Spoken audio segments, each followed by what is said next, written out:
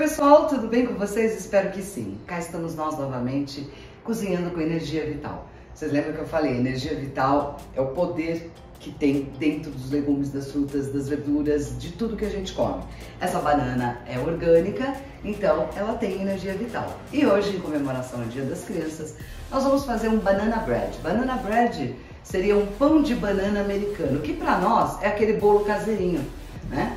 Só que como é dia das crianças, né, dá licença que nós vamos usar gotas de chocolate, né? E para isso eu arrumei três novos assistentes. Não, porque a pessoa aqui é chique. A pessoa é chique, tem assistentes. Vou apresentar para vocês. Todos estão com máscara, só eu que não, vocês sabem muito bem por quê, porque senão eu consigo falar, né? Então vamos lá. Heloísa, por favor, venha cá, minha querida. Quantos anos você tem, Heloísa? Oito. Oito anos. Ai, que delícia. Vamos lá. Arthur, por favor, vem aqui comigo. Eles que vão cozinhar, viu? Ó, o Arthur também tem oito anos, né, Arthur? Hum, vem mais pra cá, vem pra chegar mais perto de ti. Eu, eu não mordo. Eu não, ainda não, né? E nosso amigo Vitor, vem aqui, Vitor. Hello, hello. Isso. Olha, já viu que já tem um parecido com a Lana aqui, né? 11 anos. Isso. Ah, mas é da turma, tá vendo? Então nós vamos começar, eu já dei função para cada um aqui. Quem que vai amassar banana mesmo? Eu. Você. Então vamos lá, nós vamos amassar três bananas. Pode ficar pra cá, vamos. Vem cá. Ai, ai, fica com a banana não vai sair. Ó, você vai vir aqui. Sabe amassar banana? Sei. Já fez isso na sua vida? Ah, sim. que bom que apareceu isso na banana. Deixa eu mostrar uma coisa pra vocês. Quando tem essa parte mais madura da banana, é a parte mais gostosa para bolo. Não jogue fora. Amassa e põe no bolo. Então vai começando aí. Peraí que ficou um pedaço de banana aqui que pertence ao bolo. Né? Pode amassando. Pode amassando. Que nem você fosse fazer banana amassada com açúcar e canela em casa. Vocês comem muita banana? Não. Né? À noite. À noite. Nada como ser criança. Vocês comem banana à noite, me dá uma azia. A gente deita no micro-ondas e coloca canela. Ai, que delícia! Que delícia de sous-chefe hoje. Tem três chefes meus. Ó, vou facilitar pra você dividir no meio. Tá vendo? Peraí que eu tô deixando aqui do lado, depois a gente joga fora. Ou melhor, compostagem. Eu acho que eu não posso Hã? provar? Peraí, vem cá. Você tá pegando muito aqui, ó. Vem cá. Se pegar mais aqui, fica mais fácil. Tá? Põe esse dedo aqui pra te ajudar, ó. Tá? É assim cozinhar com criança, tem que dar dica. O forno já tá aquecendo, eles não vão mexer em fogo. Você te Alana. Senão a gente muito Eu me queimo, isso, deixa que eu me queimo. Espero que ninguém se queime hoje. Já basta o forno que explodiu na minha cara. Eu acho que foi. É. Aí tá indo lindo, maravilhoso. Isso, força. Força, deixa eu dar uma ajuda aqui. Meu Deus, eu tô com medo de quebrar o garfo. Me de quebrar o garfo? Mas a banana tá molinha, ó. Vitor, é um de cada vez aqui dentro, tá?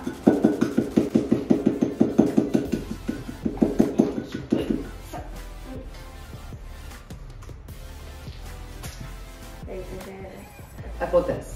Acontece com as melhores famílias, inclusive comigo. ah, aí faz assim, quando você quebra um ovo, porque a gente nunca sabe se o ovo tá estragado ou não, né? Usa Então celular. você. Como é que é? Usa celular? Pra saber se o ovo tá estragado? Como é? Como? Peraí que agora eu vou aprender uma coisa. Como?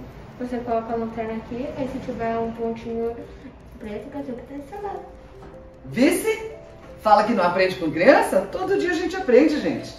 Eu vou no método antigo só porque eu já fiz isso, mas eu gostei da sua ideia. Tá vendo? Não dá confiança pra você ver, viu? Tá ótimo. Tá ótimo. Pode descansar o braço. Foi muita musculação no dia de hoje.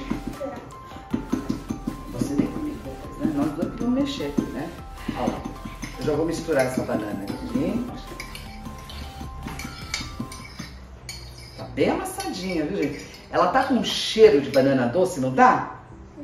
Vocês não estão sentindo o cheiro de banana doce? Sim. Não tá sentindo? Cheira lá na vasilha, então. Pronto.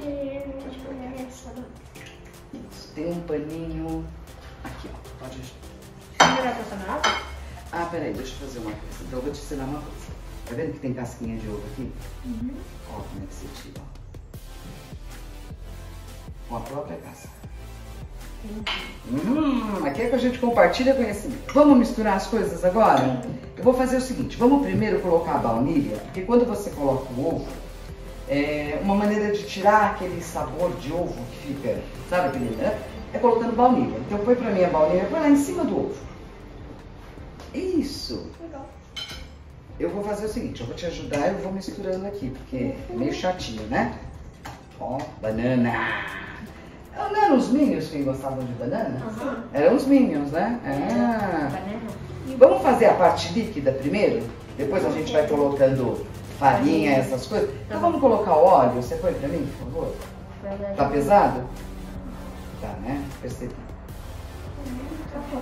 A receita vai estar na descrição, tá? Do vídeo, gente. Esse vídeo vai entrar no canal Coisas de Lana, para vocês assistirem a hora que vocês quiserem, no momento que vocês quiserem, né? O que, que nós vamos colocar agora? Vamos colocar o açúcar? Peraí que deve estar pesado. Tá pesado ou dá pra ir? Dá pra ir. Então vamos embora. Bora lá. Bora lá, meu povo. Pode ir. Pode ir. Bolo tem que ter açúcar, né, gente? Logicamente. E olha, essa banana tá muito doce. Vamos pôr o trigo agora? Trigo. Tô adorando isso, gente. Acho que eu vou adotar. Vou tratar. Vou pegar assim agora. Segura aí, segura aí. Segura aí. Segura. Tem que ser um pouco de cada vez. Sabe por que você não pode bater muito o bolo? Senão ele fica aquele bolo solado, feio. Sim. Não fica com ar. Pode pôr mais.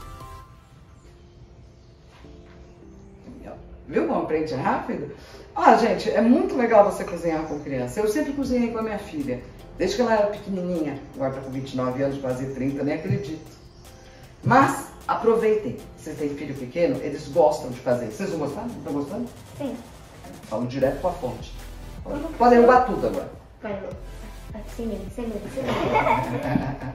Ainda tem apoio do irmão, né? Que esses dois aqui são irmãos. São. Peraí, que agora tenho que ir devagar, senão vai voar farinha na cara de todo mundo. Todo mundo. Estamos quase lá, galera. Tá vendo que eu falei que não pode mexer muito? Olha lá. Ai, que cheiroso. Vocês estão de máscara, mas tá cheiroso? Ó. Agora, é fermento de carbonato e sal. Quando eu falei sal, foi você que perguntou por que sal, né? O sal aguça o sabor das frutas, de doce principalmente. Então, todo doce que você fizer, toca uma pitadinha de sal. Vai pra mim. Você vai pôr de um lado ou vai do outro? Só para não dizer que eu não fiz nada, né? Botei o fermento. E o bicarbonato, ele dá aquelas bolinhas que fica no bolo. Se esse bolo fosse de chocolate, ao invés. Vocês viram que a parte minha de gordura foi no óleo, né? Então, ao invés de colocar a medida total do óleo, eu colocaria óleo e café. Acho que a gente vai ter que Lá vai a dica de novo. Café e chocolate super combinam. Café. Café e chocolate. Bolo de chocolate com café, ele aguça o sabor do chocolate. Agora a parte mais gostosa. O que, que nós vamos misturar agora? Chocolate. Chocolate. Pode pôr. Pode colocar sem medo, sem medo, sem dó nem piedade. Sem medo, sem dó nem piedade. Peraí que eu tenho que mostrar pra eles essa massa. Olha que coisa linda. Olha que massa linda. Não bata muito nenhuma massa, tá? Nenhuma massa bata muito. Você batuma o bolo. O trigo, ele não pode ser ativado. Estou falando do termo técnico, tá? Não bate muito fica de boa. Ó, eu tenho duas forminhas super legais, adorei essas forminhas, já, já fiz algumas coisas com ela. Se, por exemplo, não é o caso aqui desses três, que eu tô com medo dessas duas, não dá para os três, né? Mas se por acaso você tá em casa e só você que come bolo, você pode fazer, assar e congelar. Depois você descongela e pode usar, tá bom? É, vamos lá, agora vamos colocar as forminhas e vamos pro quer dizer, nós não vamos pra, nós vamos ficar lá fora esperando o bolo assar, mas o bolo vai pro forno, certo? Certo. Então deixa eu colocar aqui.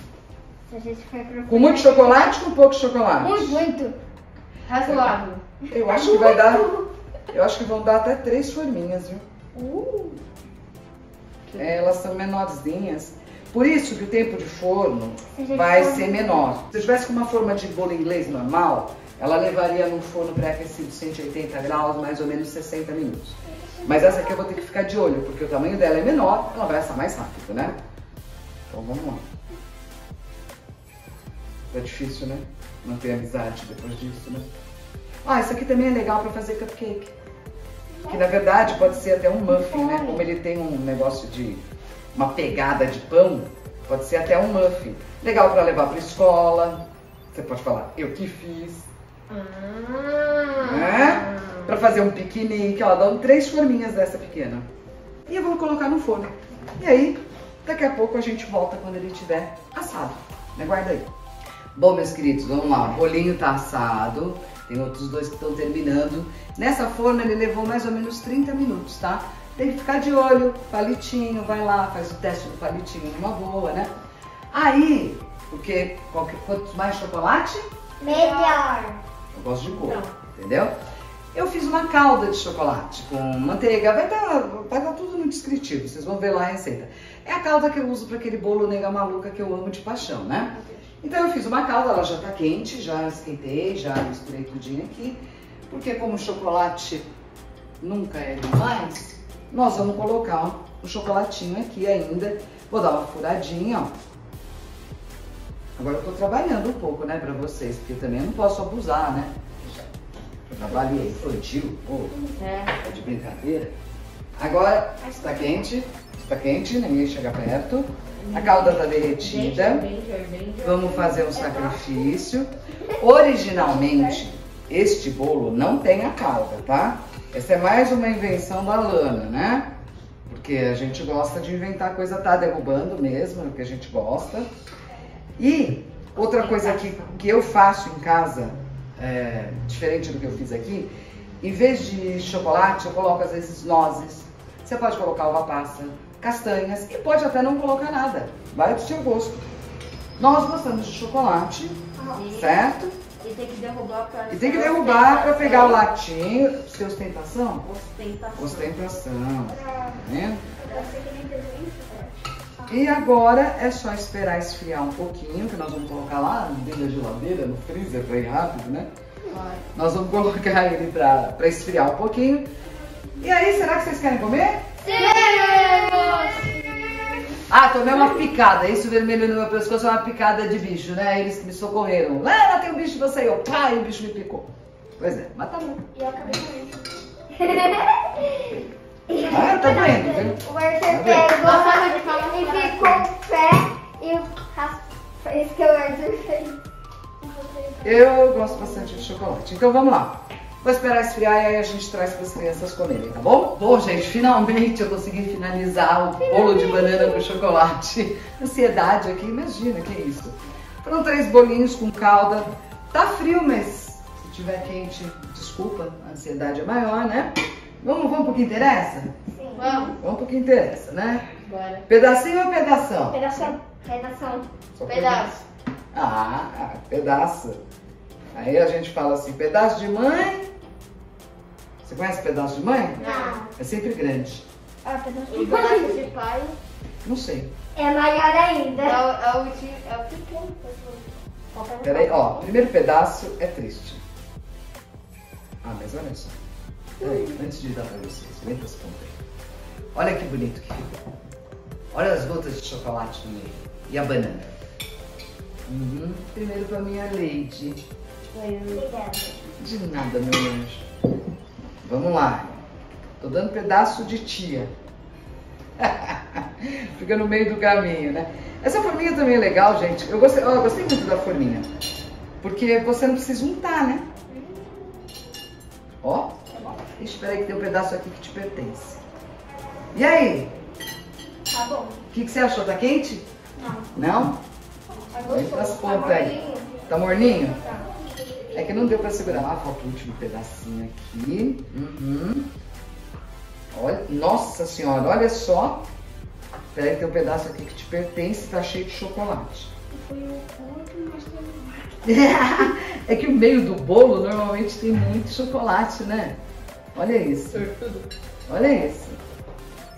Uhum. Agora, como eu não tenho prato, eu vou comer direto na forma. Vocês acham que eu não como? Brincou. Olha lá. Olha aí. Também quem, também quem faz. Hum, Acho que a gente fez a melhor parte. eu gostei, gostei. Também. Aqui pode falar de boca cheia. Mas tá morno. Mais gelado fica melhor. Hum, queria um copo de leite agora. Ou um milkshake. Um café. A gente Gostou da ideia? hum, fala pra mim, gostou? Gostei. a gente vai fazer um Vai fazer em casa pra mamãe e papai? Vamos! Aí, são irmãos. E você? Uhum. Consegue fazer sozinho? Não.